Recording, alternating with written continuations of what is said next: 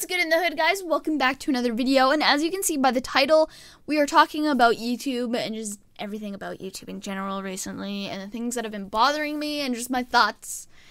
I'm talking about them today. There's a hope that's waiting for you in the dark. You should know you're beautiful just the way you are. And you don't have to change.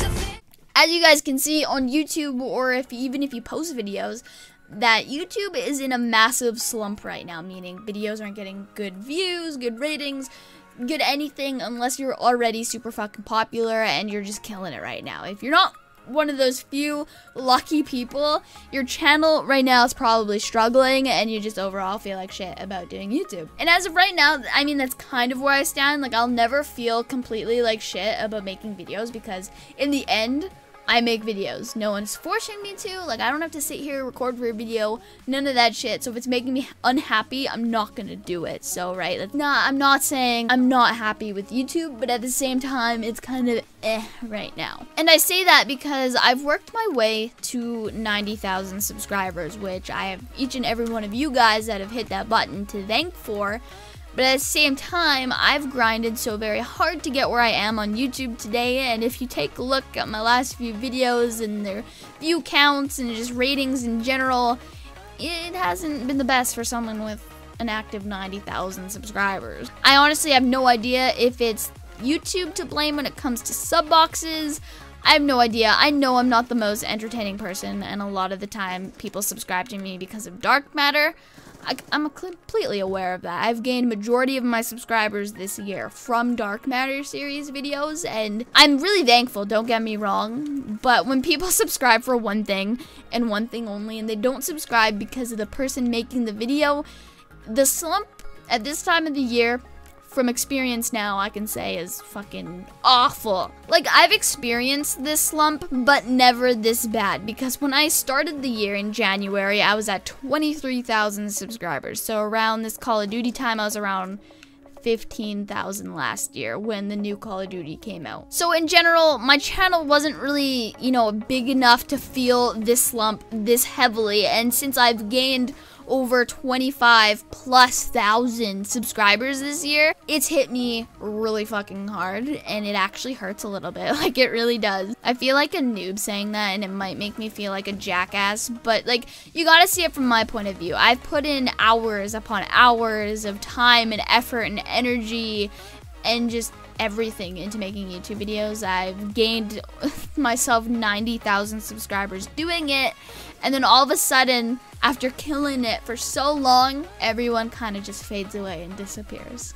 Like, just imagine how I feel when people do that to me. Yes, I still do get insanely good numbers compared to a lot of people, and I'm really appreciative of what I have, don't get me wrong, but it's in the aspect of I've gained myself to 90, and then all of a sudden I feel like it was taken away. So that's kind of, why do I even try to fucking knife in this game? Like, So that's where I stand with that. I know it's gonna pick up and when the new Call of Duties come out and shit and whatnot, and it's just gonna be like, why did I even make a video about it in the first place? But it's just how I feel with YouTube at the moment. The slump sucks ass. And if you're one of the lucky people that can kill it through this slump, I am actually proud of you. But enough about that. Like, I honestly do not want to make myself look ungrateful or greedy in any way possible. Like, I just don't want that to be what you guys think of me after this video. It's just, I'm a little frustrated as a YouTuber that's put in a lot of work and seen results to kind of see those results like fade away. Like I do understand,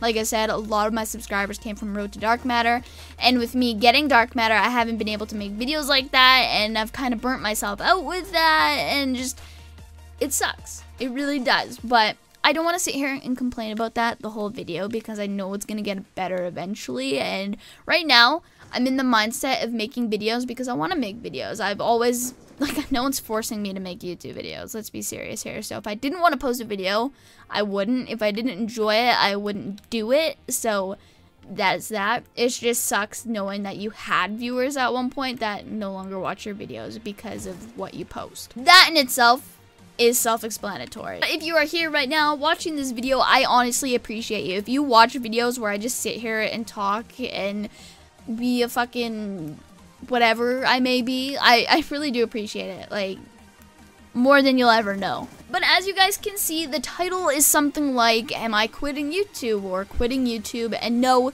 it is not clickbait. I am going to talk about that in today's video. The thought of quitting YouTube rarely crosses my mind because YouTube is something that I care for so much. I've put in, like, I've put in thousands of dollars of my hard earned work, eight hours a day money into my energy, time, and just hours upon hours. Just everything about YouTube I care for so much because I've tried so hard and I've worked endlessly at it for years hours and I've done it daily for like a long time. Whether if I post a video or if I don't post a video, I'm constantly thinking about my next step on YouTube and just in general. I love this website so fucking much, even though it's like a love hate relationship sometimes. I love it. I love making videos. So the thought of quitting has never really crossed my mind. A few, very few times. One time I thought about it, I was roughly 4,000 subscribers, and the only reason why I thought even remotely about quitting YouTube was because, you know, I'm entering adulthood. I may not have the time to do it anymore, especially the fact that I don't make a living off of it. If you did not know that, now you do. I work full eight hour day job, and that is how I make money to, you know, pay my bills and shit. So YouTube remains a hobby, and I always want it to remain a hobby. Yes, it would probably help a great deal if I made thousands of thousands of dollars off of YouTube, but I don't want to depend on it as a job. I'm not at that point of YouTube, and I don't think I ever will be. But Steiny's in my fucking game, you piece of shit. Steiny's my bud, by the way. He's a really cool dude. I, for a fact, know myself better than anyone in this entire world, and I can say from deep down in my heart, I never want YouTube to be my main source of income. I always want to do something outside of YouTube that I consider my job because as soon as I turn something that I do for fun, that's a hobby, into a job, I automatically think like, oh, I have to do this now or else I don't make a dollar. You know, like I just don't ever want to look at YouTube like that and be dependent on it because as soon as I do that, I feel like YouTube itself is just not what it was meant to be. So just the fact of thinking about quitting one day, it tears my heart apart and it most likely will never happen. I'm to reassure you over and over. But like I've thought about it because life is really unexpected and if we're if something drastic were to change in my life, YouTube would be the first thing to go. It's the easiest thing that takes up majority of my time. Just shit like that, right? So like I just think about the effort, the money that I've put into this and shit and it's crazy. Like YouTube is such a huge part of my life and I've really never grasped that until like I sit down and think about it. Like